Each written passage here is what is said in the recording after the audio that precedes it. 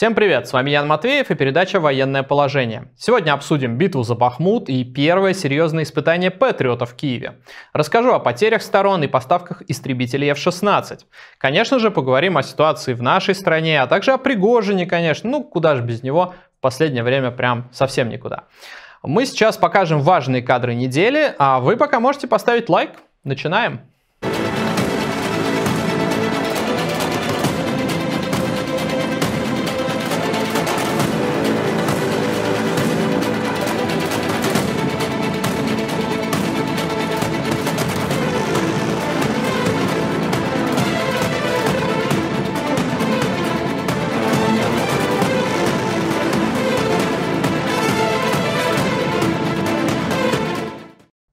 Давайте сразу откроем карту и посмотрим, что сейчас происходит в Бахмуте. Вот, пожалуйста, город у меня за спиной.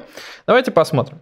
Значит, черта городская, она проходит примерно вот, ну вот где-то так. Вот, вот эти кварталы захватывает, ну и сюда дальше. А, и мы видим, что с востока, с севера, с юга город уже захвачен. Кроме того, давайте я возьму другой цвет. Кроме того, вот эти вот кварталы уже по сути захвачены вагнеровцами, об этом сообщают э, несколько российских источников, и они наступают вот сюда, в то место, где еще остается украинское сопротивление, то есть вот, вот здесь, вот в этом месте раньше стоял монумент э, истребителя МиГ-17, то есть, по сути, вот этот небольшой участок только остается под контролем украинских войск. А вот, например, кадры как Бахмут изменился буквально за год. Это спутниковые снимки. Вот мы видим, что ну, цветущий такой мирный город был, по сути, превращен в руины э, атакующими вагнеровцами. Э, большая часть домов уничтожена. То, что не уничтожено, было повреждено и теперь непригодно, конечно, для жизни.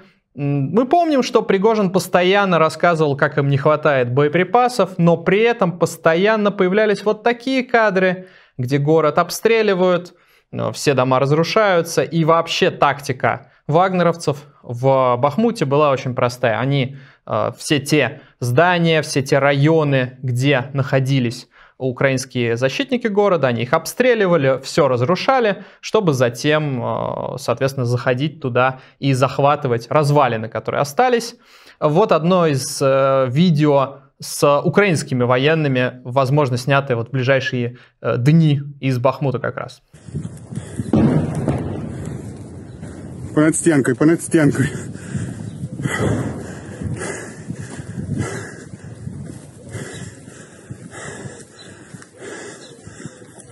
И, судя по всему, сейчас войска ВСУ эвакуировались и из этого района, и, видимо, эвакуируются уже и отсюда, потому что держаться именно в этих э, домах, небольшом таком районе, довольно сложно.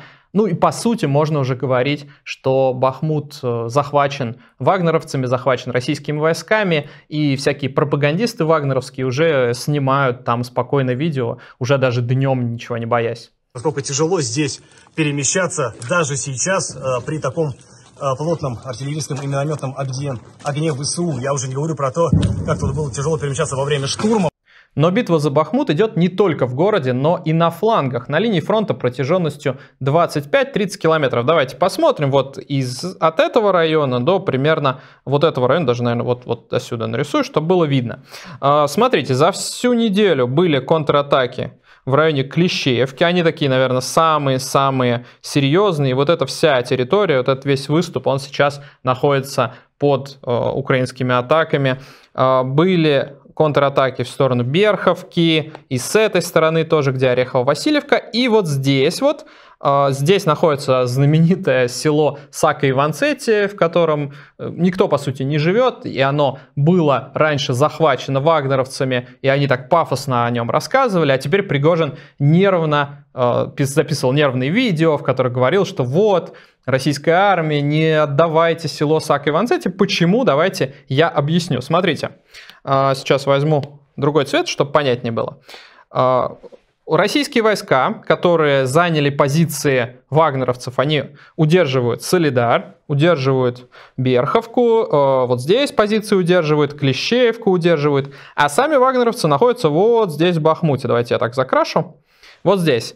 И чего боится Пригожин? Боится он того, что если российские войска на флангах побегут, то в теории украинцы смогут прорвать вот здесь вот, и им нужно дойти, по сути, вот до вот этих вот двух перекрестков, вот эту дорогу отрезать, и надо понимать, что вот даже вот эти расстояния, они не такие большие. Тут где-то там 10-15 километров, то есть э, в теории, если, если прорыв пойдет хорошо и быстро, то это можно за один день буквально закрыть, и таким образом вагнеровцы могут не успеть выйти из Бахмута и оказаться в таком довольно серьезном окружении. Э, сейчас, э, правда, нет каких-то таких массированных ударов ВСУ. Все атаки приводят пока к плотным столкновениям пехоты на близкой дистанции, вот как на этом видео. Граната!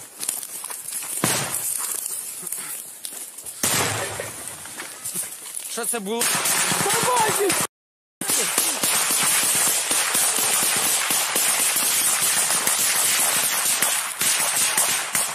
Окончательное завершение битвы за Бахмут опасно для Пригожина.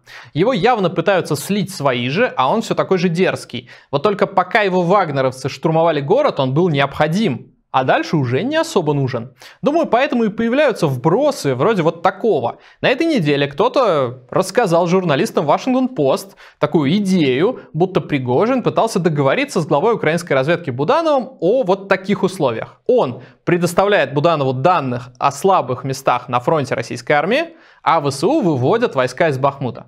Ну, понятно, что все все отрицают, ну и вообще слух такой мало похожий на правду.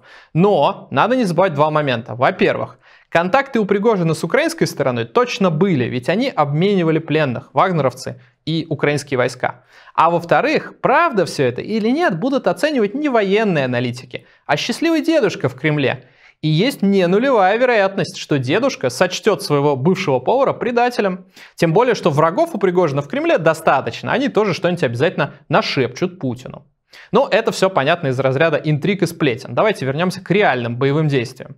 Российские войска применяют новую тактику обстрелов украинских городов. Теперь они не запускают все дроны и ракеты одновременно в одной атаке, но мы видим, что каждую ночь Киев, другие города и регионы, например, Одессу, Кривой Рог, другие, атакуют двумя десятками шахедов и крылатых ракет. Но, похоже, украинское ПВО справляется с этими атаками, сбивая почти все, что летит в том числе кинжалы. Ночью с понедельника на вторник российская авиация выпустила до 6 гиперзвуковых ракет «Кинжал» по Киеву. Запускались и простые крылатые ракеты, все, чтобы раскрыть позиции ЗРК «Патриот» и попытаться его уничтожить. Оборона города сработала отлично, сгорели только несколько машин, поврежденных обломками, а всех усилий российских ракет хватило, чтобы повредить одну пусковую установку «Патриота». Российская пропаганда рассказывала, что уничтожена целая батарея американской ПВО. Но это, конечно, чепуха. Вот посмотрите на картинку. Даже такая довольно мощная ракета, как «Кинжал» с полтонной взрывчатки, при попадании может уничтожить только один из блоков комплекса «Патриот». Пусковую установку, радар, управляющую станцию, может быть, машину с батареями. Потому что они все стоят в разных местах, именно для того, чтобы нельзя было поразить одним ударом. Вот и на этот раз была повреждена именно пусковая, причем не сильно отремонтировали, прямо в Киеве даже не увозили. Еще одно важное событие произошло в Крыму. Там подорвали железную дорогу. Сошел с рельсов состав с зерном, 8 вагонов были повреждены, сами рельсы к вечеру уже восстановили, но диверсия привела к задержке военных поставок. Все произошло вот здесь, неподалеку от Симферополя. Понятно, вот смотрите на карте. Понятно, что сейчас такие диверсии не имеют какого-то большого практического значения, но, во-первых, это сигнал для всех, что российская армия и силовики не контролируют оккупированный Крым так хорошо, как им бы, наверное, хотелось. А во-вторых, это значит, что диверсанты могут и повторить такие подрывы, но уже в более важный критический момент, когда по железной дороге пойдет состав с подкреплением, например, с техникой. Еще одна диверсия произошла в барбершопе оккупированного Луганска. Но тут как раз вряд ли виновны украинские диверсанты. Кто-то пытался подорвать главу МВД, так называемый ЛНР, Игоря Корнета. При взрыве, кроме него, пострадали еще несколько человек. Сам Корнет известен борьбой за власть на оккупированной территории. Он, по сути, главный местный силовик. Вероятно, все это продолжение разборок между местными бандитами, называющими себя чиновниками. Корнет не погиб, но был тяжело ранен, и сейчас его отвезли в Москву на лечение. Бахмутская мясорубка продолжает истощать обе армии. За прошедшую неделю стали известны имена еще 600 погибших российских солдат. Всего же известно о 23 286 погибших. Из них более 4 тысяч были бывшими заключенными, подписавшими контракт с ЧВК Вагнера. Битва за Бахмут еще полноценно не закончена, но она уже стала самым кровавым сражением этой войны. По словам министра обороны Украины, российская армия потеряла в боях за город около 70 тысяч солдат убитыми и ранеными. Чтобы восполнить потери, российские военкоматы усиленно вербуют контрактников. За этот год планировалось набрать около 400 тысяч новых солдат. По словам Медведева, с начала года получилось нанять 117 тысяч человек. То есть до плана пока заметно не дотягивают. А значит, нужно ожидать новых фокусов по заманиванию людей на службу. Другая острая проблема российской армии – нехватка техники. За 451 день войны российская армия потеряла 1965 танков и 3538 бронированных машин, в том числе БМП, БМД, БТР, МТЛБ и другие. Уничтожены или захвачены 607 артиллерийских орудий САУ, а также 202 реактивных системы залпового огня. Сбиты 82 самолета и 87 вертолетов. В прошлую субботу над Брянской областью сбили по итогу два самолета. Это Су-34 и Су-35 и два вертолета Ми-8. Известно уже о 10 погибших членах экипажа этих бортов, но одного пилота до сих пор не могут найти. Самолет упал рядом с болотом, потому что. Администрация Стародубского района даже размещала просьбу о помощи лодками и болотными сапогами среди местных жителей. Это уже о многом говорит. Видимо, у армии и спасателей нет э, своих лодок. Все отправилось на войну. А мы продолжаем показывать новинки российской военной техники. Вот, например, шасси танка Т-54 с установленной автоматической зенитной пушкой С-60 57 миллиметровые орудия применяют для поддержки пехоты обе стороны. Обычно их устанавливают на грузовики, но в ход уже пошли вот и танки. Пока был замечен только один такой образец, но шасси старых танков на базах хранения много, так что не удивимся, если будут и новые такие Франкенштейны. Нагрузки на военную технику идут колоссальные, поэтому бывают и вот такие разрывы стволов, ну вот как у этой Saum Staes. В принципе, это не должно быть критично и лечится простой заменой ствола, но если, конечно, есть такой запасной ствол. И если российская армия остается надеяться только на поставки, собственно, российских заводов, то наемники могут себе позволить закупаться и за границей. Стало известно, что Китай поставляет боевые шлемы для ЧВК Вагнера. Financial Times выяснил, что шлемы закупались еще для военных операций в Африке. Но китайский производитель продолжил продавать их Пригожину и после начала полномасштабного вторжения в Украину. Всего поставили минимум 20 тысяч шлемов. В украинской армии к 20 мая уничтожены 500 танков и 1121 бронированная машина. Потеряны 273 артиллерийские установки и 45 систем залпового огня. Подтверждены потери 66 самолетов и 29 вертолетов. С сухопутной техникой все понятно. Идут поставки танков, броневиков, комплексы ПВО уже стоят на боевом дежурстве, сбивают почти все цели, летящие по Украине.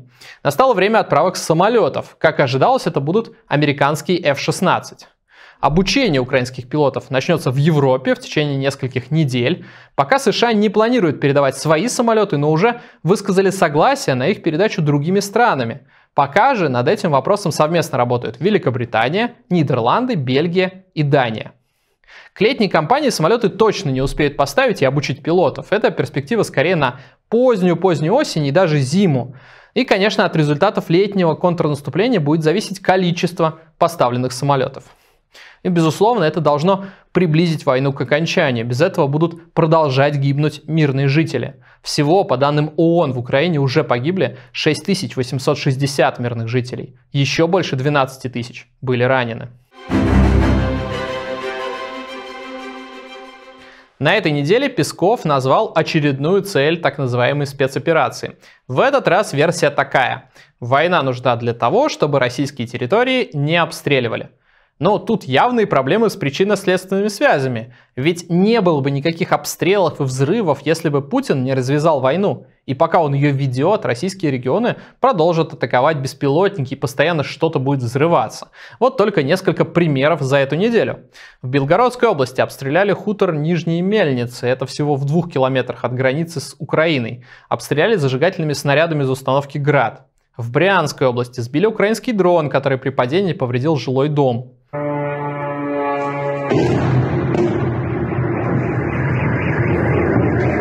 Курской области, в поселке Глушково, беспилотник сбросил э, взрывное устройство, какие-то боеприпасы на здание пограничной службы ФСБ. С ранениями госпитализировали 5 человек. И все в том же поселке Глушково пару дней назад ВСУ сбросили взрывное устройство на физкультурно-оздоровительный комплекс. Пострадали два человека. Ну, то, что сбросили ВСУ, заявляет, естественно, российская сторона. Э, на 100% мы не знаем. Предприятия уже начали выделять деньги на защиту от беспилотников. Например, Пензенский горводоканал потратил на защиту от дронов 11 миллионов рублей и потратит еще 16. А Российский университет Миреа за 5 миллионов рублей закупил радар-детектор для отслеживания беспилотников в образовательных целях. На базе этого вуза военных обучают работе как раз с дронами. Людей продолжают всеми силами затаскивать на войну. Но вот э, в Карелии на заводах берегут сотрудников и выписали всем бронь от мобилизации. Это очень раздосадовало местного военкома. Давайте послушаем. Когда бронируют дворника, грузчика, полотера, уборщика помещений. Я еще ни одного раза не предпринимал так, такой способ, как аннулировать все. Но если я дальше это буду видеть, я аннулирую вот эти все вещи, сразу говорю. Как будто дворники и уборщики это не люди, и их профессия не нужна. Видимо, по мнению военкома, их работа вот не так важна, они какой-то расходный материал для него. Вот только дворникам в путинской России быть намного почетнее, чем солдатам и идти совершать военные преступления. А вот студентам обещают целый академический отпуск, чтобы можно было потом вернуться с войны и восстановиться на учебе. Другой вопрос, будет ли кому возвращаться. Хотя вот Маргарита Симонян опасений насчет смерти мужчин на войне не испытывает. Говорит, что от ковида два года назад смертность была и то выше. Так что хватит курить бамбук, это цитата. Пора ехать подвиги совершать. Вместо того, чтобы где-нибудь в сельском поселении, что называется, курить бамбук, где нет работы, где нет возможности себя показать, пойти туда и вернуться героем. Да, конечно, это сопряжено жизнь, э, с риском для жизни. Но с риском для жизни сопряжена жизнь. Да, безусловно, риск для жизни на войне выше. С одной стороны. С другой стороны, ну, если посмотреть просто смертность, у нас в прошлом году тяжелых боев смертность значительно ниже, чем у нас была смертность позапрошлом году ковид. Интересно, почему же ее муж в таком случае не стремится на войну? Ведь он распинается, какая молодежь плохая, потому что в Украину ехать не хочет воевать.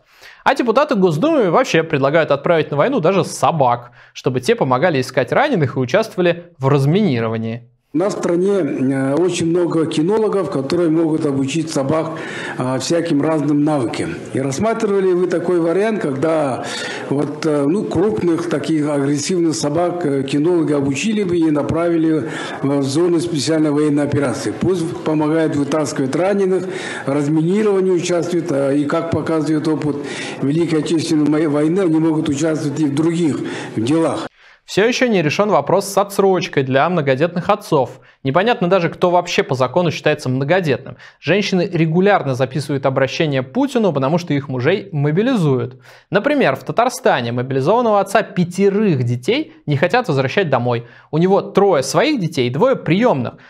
Поскольку не все пятеро детей его родные, его посчитали годным для мобилизации. Хотя он отец их всех. А, его жена регулярно пишет обращения в прокуратуру и в военкомат, но, естественно, безрезультатно. Даже отца восьмерых детей из Мариэл не хотят отпускать с войны. Его мобилизовали еще в сентябре, а уже через две недели он оказался на фронте.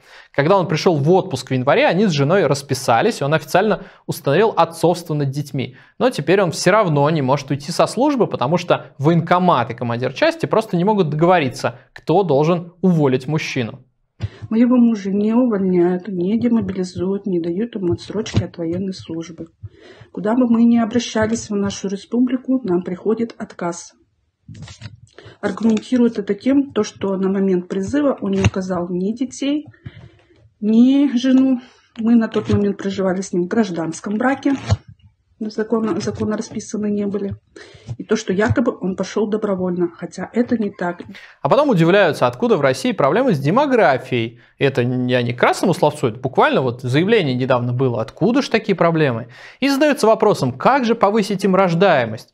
Ну, как минимум не отправлять, наверное, мужчин на убой. Ну, а детей к войне готовят, естественно, с молоду, так сказать.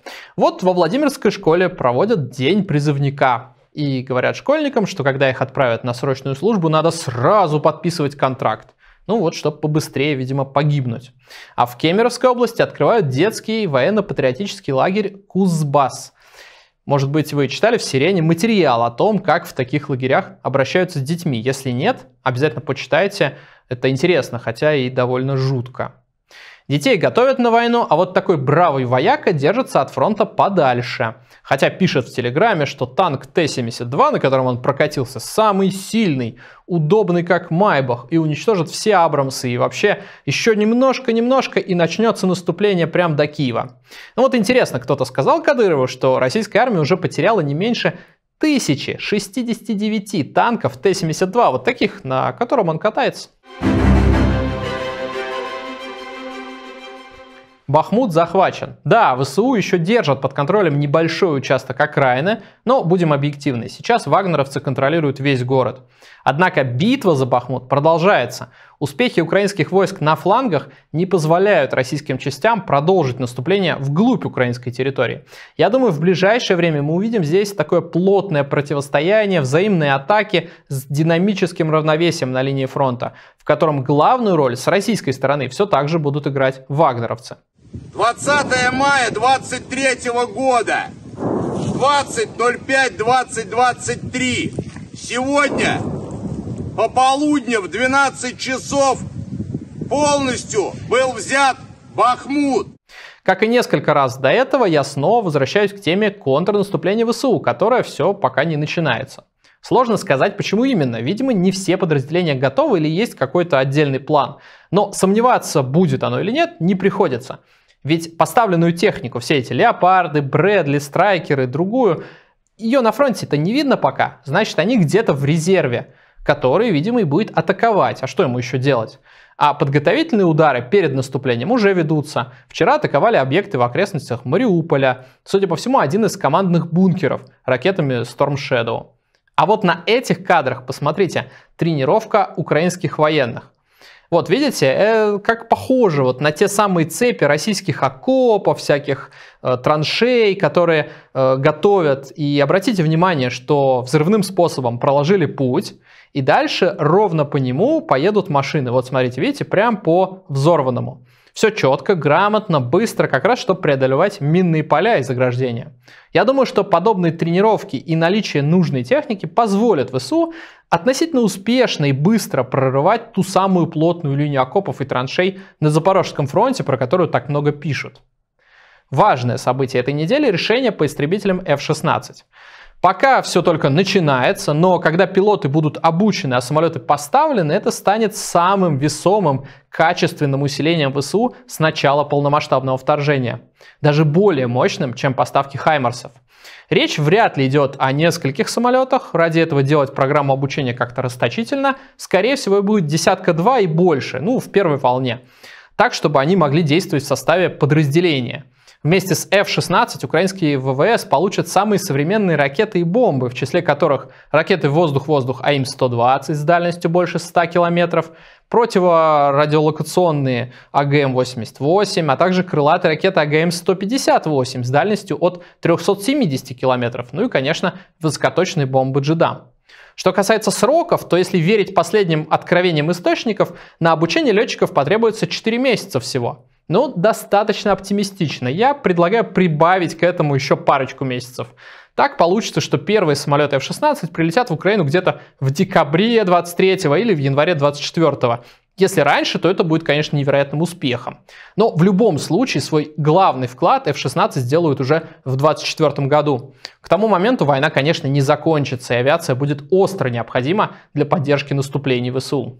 Что же касается нашей страны, то все по-прежнему. Пропаганда всеми силами пытается найти желающих умереть за Путина, а тех, кто выступает против этого, ждут репрессии. Мы видим штрафы и за недоносительство, и за любые фразы против войны. Сегодня вообще составили протокол на владельца машины с наклейкой «Шойгу, сука, где снаряды?». Ну, кстати, конфликт Пригожина и Минобороны привлекает очень много внимания, и это хорошо. Пусть побольше грызутся между собой. Да, Бахмут, похоже, захватили. Ну, или захватят окончательно в ближайший день-два. Но все это время, много месяцев подряд, российская группировка больше нигде ничего не смогла. Пытались атаковать Угледар, понесли огромные потери. Марьинка, Авдеевка сопротивляются. Фронт стабилен. Инициативы у российской армии нет. А сейчас уже лето, удобное время для активных действий. Посмотрим, что будет дальше. Оставайтесь с нами. Этот выпуск вместе со мной готовил Владлен Лось, вся наша команда. Всем большое спасибо. Если вы считаете, что получилось полезно, поставьте лайк, поделитесь видео в соцсетях. А еще подписывайтесь на наш Patreon. У военного положения уже 8 персональных патронов, это очень круто. Не все, правда, попадают на экран, потому что не все соглашаются выводить свои ники. Но все, тем не менее. Всем огромное спасибо за поддержку, присоединяйтесь. Завтра не забудьте посмотреть передачу «Самое важное» с Иваном Ждановым. Она теперь выходит на отдельном канале. А я прощаюсь с вами. Увидимся.